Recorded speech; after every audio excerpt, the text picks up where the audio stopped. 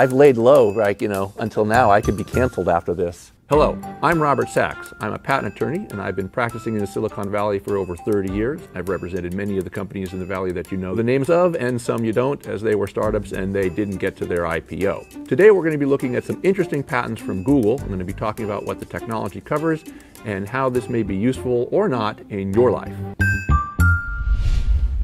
The first patent we're going to look at is from 2015 and it's for an odor removing device. Now this is a very interesting contraption. What we see here on the left side of the screen is a fragrance emitting device. It's a small unit about this big. It's got a display screen on it as you can see in the front and it has a chamber which has a fragrance material in there and this thing can turn on and off and emit a fragrance because you may smell bad. And that's the key insight of this patent. You may smell bad, and you don't want to smell bad around people you know. You're on your way home from the gym, you're all stinky and sweaty, and you gotta go from here to your office, and it turns out that someone you know in your social network is gonna be on your route. That's this little guy here in red. That's a defined person. The patent talks about figuring out where you are, figuring out where that person is, and giving you an alternate route so you avoid going anywhere near anybody you know while you smell. Well, you know, I'm not so certain about this technology. If you know you have this issue, you probably would be wearing deodorant to begin with, and your friends would probably already be tolerant of you. What kind of world is it we live in that we're so worried about what we smell like that we're willing to offend other people that we don't know, but not willing to offend the people we know and care about? This seems something out of Black Mirror. I don't know about you, but I don't think this one is going to make it to market. As you may know, Google spun off Waymo to develop autonomous vehicles. One of the issues with autonomous vehicles is without a driver, they're sometimes going to possibly hit somebody, and what are you going to do about that? Google came up with a very interesting solution, and that's basically what you could call sticky car. Adhesive vehicle front end for mitigation of secondary pedestrian impact. The problem being is that when a car hits a person, the person bounces off and hits something else. So let's not have them bounce off. What we're going to do is we're going to have a sticky layer. This is some adhesives on the front end of the car. So the patent shows these this front end of the car, those little dots are some adhesive material. And thankfully, that's not exposed. You don't see that adhesive material. It's behind a coating, what Google calls an eggshell-like coating. Okay, so you've got this eggshell-like coating on the car that is meant to be instantaneously breakable. So when the car hits a person, the coating is broken, exposing the layer to adhere the colliding object upon that initial. So basically, you're going to stick to the car so you don't go flying off. Okay, that's a little bit odd. I think there's some serious problems with that. First of all, if this layer is so instantaneously breakable, it's going to break all the time, right? You're going to bump into something, you're going to break it. I can imagine kids walking down the streets looking at people's hoods and slapping cats and dogs and sneakers on there. So stuff is going to get on there all the time. It's going to be really expensive. And then what happens when you actually are hit by this? Are you now stuck here? Do you have to take off of your clothes to get off of this car? I don't know doesn't seem like a very practical solution, and again, something that's just going to make repairing cars all the more expensive. I wouldn't want to be stuck on anybody's hood. I'd rather just go flying off. Thank you. This is an interesting technology. Yeah, not so much.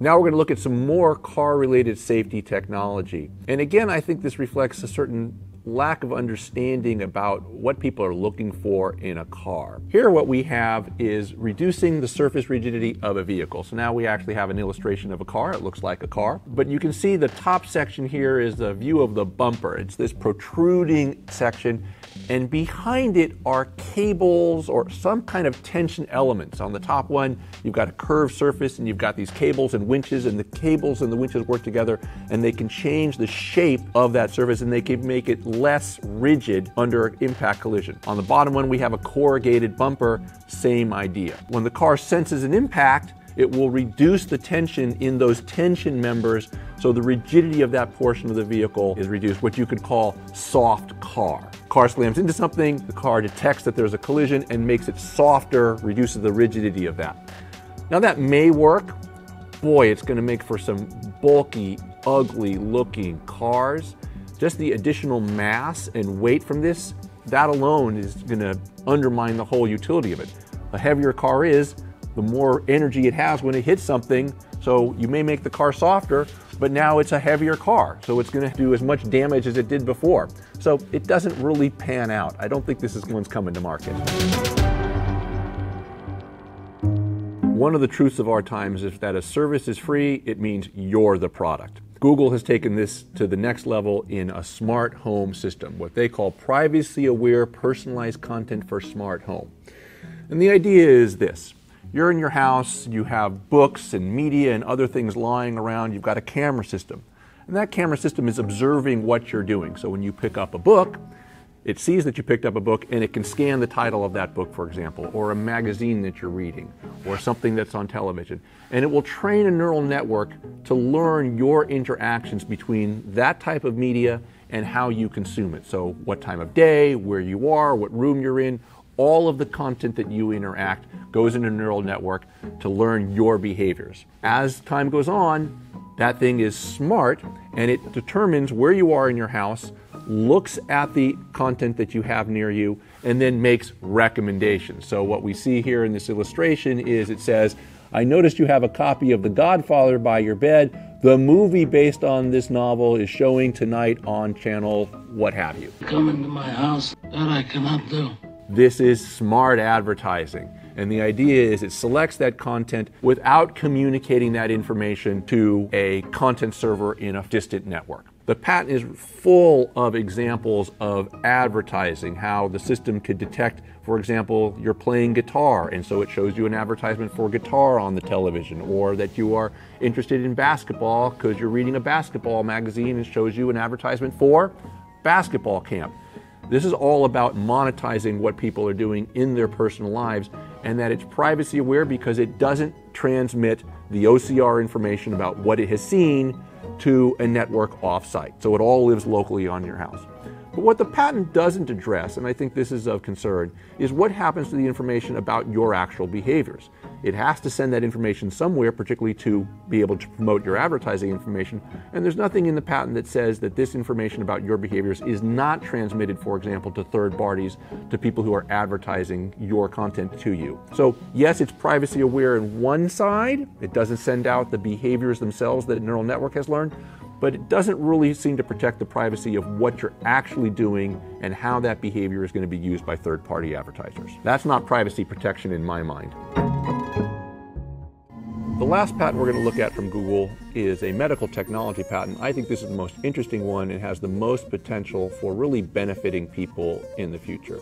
Google calls this intraocular device.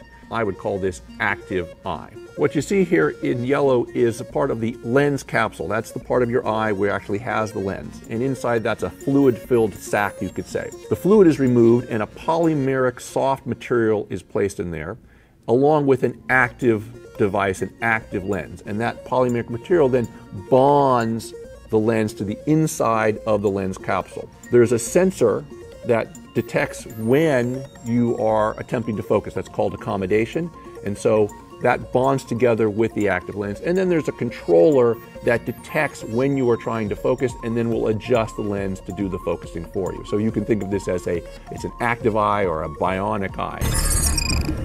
Now, this is very interesting technology. It can solve a lot of problems for people who are nearsighted, who have lost their vision, who have cataracts. All sorts of eye problems can be remedied by this technology. That said, it also opens up the prospect of our old friend Gort. Maybe he had that. It certainly seems to make us a little bit closer to our robot overlords. Thank you for watching Experts React. If you like the content, please subscribe to CNET's YouTube channel. If you have an opinion, and I am sure you do, leave them in the comments below.